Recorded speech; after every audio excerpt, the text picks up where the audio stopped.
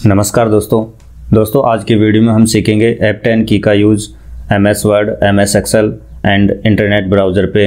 हम इसका यूज़ लेके अपना काम आसान कैसे बना सकते हैं। दोस्तों, अगर आप ये वीडियो शुरू से अंत तक देखते हैं तो दोस्तों, आपको बहुत कुछ नया सीखने को मिलेगा इस वीडियो से। दोस्तों, मैं महेश कुमावत आपके अपने चैनल एम के स्मार्ट ज्ञान पर आपका हार्दिक स्वागत करता हूँ दोस्तों। अब अपना टॉपिक स्टार्ट करते हैं। लेट्स बिगिन दिस टॉपिक दोस्तों एप टेन की का यूज़ एम एस एक्सेल में एंड एम एस वर्ड में क्या यूज़ होता है? मैं आपको बताने वाला हूँ प्रैक्टिकल माइक्रोसॉफ्ट एक्सेल की विंडो ओपन कर रखे हैं, ठीक है? और इसमें जो आपको लेफ़्ट ही लेफ़्ट में टॉप पे देखने मिलेंगे, यहाँ पर file home insert page layout formula data review ठीक है? ये सभी नाम हमारे एम एस वर्ड में होते हैं। ये देख सकते हो आप एम एस वर्ड में file home insert page layout इनको टैब बोलते हैं, file tab, home tab, insert tab, page layout, reference, जो भी ये नाम है, इनको क्या बोलते हैं? टैब। ठीक है? अब जैसे एक्सेल में इनको मैनेज करना है मुझे बिना माउस के तो दोस्तों मैं इनको आसानी से मैनेज कर सकता हूँ। होम वाला टेब है, उसकी रिबन यहाँ पर ओपन है, ठीक है?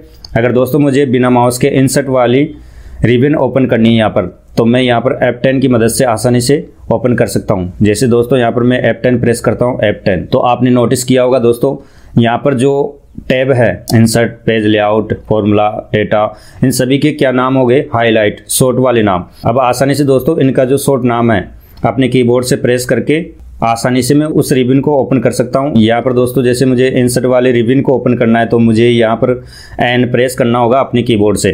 केवल एन जैसे मैं प्रेस करता हूँ तो आपके सामने दोस्तों देखिए इंसर्ट वाला जो टैब है, उसकी रिबिन यहाँ पर ओपन हो गई। ठीक है दोस्तों इंसर्ट टैब की जो रिबिन है, उसको मैं आसानी से अब यहाँ पर मैं यूज़ ले सकता हूँ बिना माउस के। अब दोस्तों, ऐसे ही जो यहाँ पर अन्य जो टैब है, उनको भी आप आसानी से मैनेज कर सकते हो। अब जैसे दोस्तों, हम एम एस वर्ड में हैं। एम एस वर्ड में भी हम इनको आसानी से एप टेन की मदद से यहाँ पर मैनेज कर सकते हैं ओपन कर सकते हैं। जैसे दोस्तों एम एस वर्ड में अभी होम टैब की रिबिन यहाँ पर ओपन है, आपको दिख रही होगी, ठीक है? अब दोस्तों, मुझे यहाँ पर पेज लेआउट का यहाँ पर मुझे ओपन करना है तो मैं क्या प्रेस करूँगा? एप टेन जैसे प्रेस करता हूँ तो ये हाईलाइट हो जाएँगे यहाँ पर, ठीक है दोस्तों? अब जैसे मुझे पेज लेआउट ओपन करना है, इसका रिबिन ओपन करना है तो मैं पी प्रेस करूँगा अपने कीबोर्ड से। जैसे पी प्रेस किया मैंने तो पेज लेआउट वाला रिबिन यहाँ पर शो हो गया, ठीक है दोस्तों? अब दोस्तों, हम नेक्स्ट चलते हैं इंटरनेट ब्राउज़र पे। जैसे दोस्तों, यहाँ पर इंटरनेट ब्राउज़र है, यहाँ पर आपको राइट ही राइट में टॉप ही टॉप पे दिख रहे होंगे ये option three dot three dot के अलावा जो ऑप्शन है ये, इनको आप आसानी से मैनेज कर सकते हो, इनके मेनू को ओपन कर सकते हो आसानी से। एप टेन की मदद से। जैसे यहाँ पर थ्री डॉट पे आप नोटिस करना, ये सेलेक्ट होगा। मैं एप टेन जैसे प्रेस करता हूँ अपने कीबोर्ड से एप टेन तो यहाँ पर नोटिस किया होगा आपने, इस समय ये थ्री डॉट क्या है? सेलेक्ट है। अब आसानी से इसको बिना माउस के आप ओपन कर सकते हो अपने कीबोर्ड से। कीबोर्ड में केवल आपको अपनी एरो की प्रेस करनी होगी डाउन वाली। जैसे मैं डाउन एरो की प्रेस करता हूँ यहाँ पर तो जो थ्री डॉट की जो मेनू है, यहाँ पर आसानी से आप देखने मिलेगी और आसानी से इसको आप मैनेज कर सकते हो। न्यू टैब ओपन करना चाहते हैं इंटरनेट ब्राउज़र का, या न्यू विंडो ओपन करना चाहते हैं अलग से।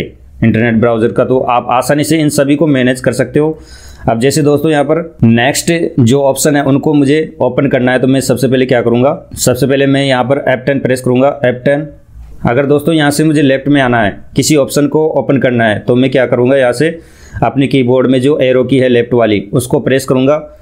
जैसे जैसे मैं प्रेस करता जा रहा हूँ तो लेफ़्ट में, यहाँ पर मैं आसानी से उन स्टेप्स का सिलेक्शन कर पा रहा हूँ आसानी से। अब जैसे दोस्तों यहाँ से मुझे राइट में जाना होगा तो अपनी जो कीबोर्ड में राइट एरो की है, उसको मैं प्रेस करता जाता हूँ तो ये आसानी से उन स्टेप को सिलेक्शन करता जाता है और आप आसानी से इनको मैनेज कर सकते हो एंटर प्रेस करके। अब जैसे दोस्तों इंटरनेट में आप कुछ भी सर्च करते हैं अपना माउस का कर्सर ले जाके ऐसे सर्च करते हो, ठीक है? सर्च बार में जाते हो। अगर आप बिना माउस के सर्च बार में जाके कुछ सर्च करना चाहते हैं इंटरनेट पे तो आप आसानी से एप टेन की मदद से कर सकते हैं। जैसे दोस्तों एप टेन अब नेक्स्ट स्टेप होगा इसका एप टेन का यहाँ पर सर्च बार का, ठीक है? जैसे मैं एप टेन नेक्स्ट बार और प्रेस करता हूँ अपने कीबोर्ड से एप टेन की मदद से हम नेक्स्ट स्टेप पे आ गए। मतलब सर्च बार में आ गए। अब आसानी से यहाँ पर कुछ भी आप टाइप करके इंटरनेट पे सर्च कर सकते हो। उम्मीद है दोस्तों, यहाँ तक क्लियर है आपको। अब दोस्तों हम नेक्स्ट कॉम्बिनेशन करेंगे यहाँ पर कंट्रोल के साथ F ten control F ten से क्या होता है दोस्तों? जो हम विंडो ओपन कर रखे होते हैं अपने कंप्यूटर में। यहाँ पर जैसे दोस्तों हम माइक्रोसॉफ्ट वर्ड की विंडो ओपन कर रखे हैं और ये विंडो है ना अपनी फुल स्क्रीन पे। अगर दोस्तों इसको मुझे छोटी करना है या रिस्टोर डाउन करना है रिस्टोर डाउन का होता है मतलब छोटी करना, उस विंडो को, उस टास्क को छोटी करना मतलब रिस्टोर डाउन करना। जैसे मैं यहाँ पर कंट्रोल एप टेन प्रेस करता हूँ तो नोटिस करना, ये वाली माइक्रोसॉफ्ट वर्ड वाली विंडो यहाँ पर रिस्टोर डाउन होगी। यहाँ पर नोटिस किया आपने, जैसे दोस्तों ये माइक्रोसॉफ्ट वर्ड यहाँ पर फुल स्क्रीन पे था यहाँ पर, ठीक है? तो ये क्या हो गया? छोटा हो गया रिस्टोर डाउन हो गया। एफ़ टेन की मदद से आप छोटी कर सकते हो स्क्रीन को, और वापस अगर आपको बड़ी करनी है, वापस रिसाइज करनी है अपनी स्क्रीन पे तो आप कंट्रोल एफ़ टेन जैसे प्रेस करते हैं, वो वापस अपनी स्क्रीन पे रिसाइज हो जाएगी मतलब बड़ी हो जाएगी। अगर वापस आपको रिस्टोर डाउन करना है, छोटी करना है तो आप कंट्रोल एफ़ टेन प्रेस करेंगे, वापस रिसाइज करना है कंट्रोल एफ़ टेन वापस restore down control F ten वापस रिसाइज कंट्रोल एफ़ टेन ठीक है? ऐसे ही आप एक्सेल में कर सकते हो, ठीक है? कंट्रोल एफ़ टेन का कॉम्बिनेशन केवल M S Word M S Excel में ही काम करेगा, ठीक है? नेक्स्ट कॉम्बिनेशन करेंगे यहाँ पर ओल्ट एफ़ टेन का। दोस्तों, ये कॉम्बिनेशन काम आता है कि कुछ भी सेप इंसर्ट करता हूँ यहाँ पर दोस्तों, ठीक है? जैसे मैं यहाँ पर ये सेप इंसर्ट कर ली, ठीक है? ओल्ट एफ़ टेन जैसे प्रेस करता हूँ तो यहाँ पर सिलेक्शन का आपको मेनू ओपन होगा राइट में, यहाँ पर नोटिस करना आप ऑल्ट एप टेन तो यहाँ पर नोटिस कर रहे होंगे।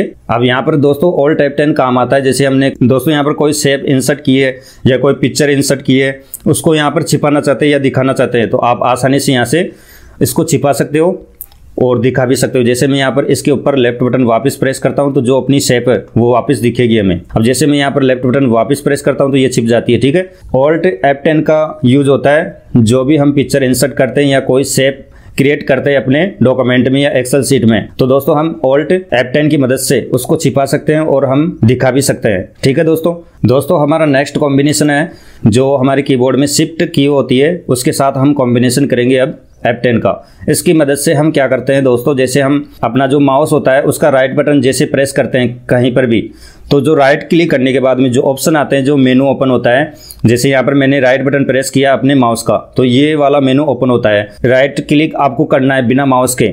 तो आप शिफ्ट एफ़ टेन की मदद से कर सकते हैं। जैसे मैं यहाँ पर शिफ्ट एफ़ टेन प्रेस करता हूँ तो क्या होता है माउस की मदद से राइट क्लिक करते हैं। वहीं ऑप्शन शिफ्ट एफ़ टेन की मदद से हम ओपन कर सकते हैं राइट क्लिक कर सकते हैं बिना माउस के। अब जैसे दोस्तों हम एक्सेल में भी कर सकते हैं विनवर्ड पे भी कर सकते हैं इंटरनेट ब्राउज़र पे भी कर सकते हैं, ठीक है? अब जैसे दोस्तों हम यहाँ पर डेस्कटॉप पे हैं, यहाँ पर मैं आके राइट बटन प्रेस करता हूँ और यहाँ पर रिप्रेस करता हूँ, ठीक है? राइट बटन प्रेस करने के बाद में जो ये मेनू ओपन हो रहा है माउस की मदद से, ठीक है? अब दोस्तों मुझे बिना माउस राइट क्लिक करना है, बिना माउस के तो यहाँ पर डेस्कटॉप पे मैं क्या प्रेस करूँगा? शिफ्ट एफ़ टेन तो शिफ्ट एफ़ टेन प्रेस करने से आप नोटिस किया आपने, जो राइट बटन क्लिक करता हूँ अपने माउस से, वही ऑप्शन यहाँ पर ओपन हो जाता है शिफ्ट एफ़ टेन की मदद से। अब ये आसानी से आप इस पर रिप्रेस कर सकते हो, व्यू कर सकते हो, शॉर्ट वाई कर सकते हो, यहाँ पर मुझे रिप्रेस करना है, यहाँ पर रिप्रेस कर दिया, ठीक है? अब दोस्तों, किसी भी एप्लीकेशन को ओपन करना है, सिलेक्ट करके, बिना माउस के, राइट क्लिक करना है। दोस्तों, किसी भी एप्लीकेशन पे या किसी भी आइकन पे या किसी भी फोल्डर पे हम राइट बटन प्रेस करते हैं अपने माउस का। उसके बाद में जो राइट बटन प्रेस करने के बाद में जो मेनू ओपन होता है, वही मेनू हम शिफ्ट एफ़ टेन की मदद से आसानी से कर सकते हैं। जैसे दोस्तों, किसी भी एप्लीकेशन या किसी भी आइकन पे हम पहले लेफ़्ट बटन प्रेस करेंगे, फिर अपना शिफ्ट एप्टन प्रेस करेंगे। शिफ्ट एप्टन करने से क्या होता है? राइट क्लिक होता है, ठीक है? अब राइट क्लिक हम माउस से भी कर सकते हैं और शिफ्ट एप्टन टेन की मदद से भी कर सकते हैं। उम्मीद है दोस्तों, आपको ये वीडियो अच्छा लगा होगा। अगर अच्छा लगा है तो लाइक शेयर एंड कमेंट करना नहीं भूले। अब हमें आगे दीजिए। नेक्स्ट वीडियो में फिर मिलेंगे। जय हिंद, जय भारत।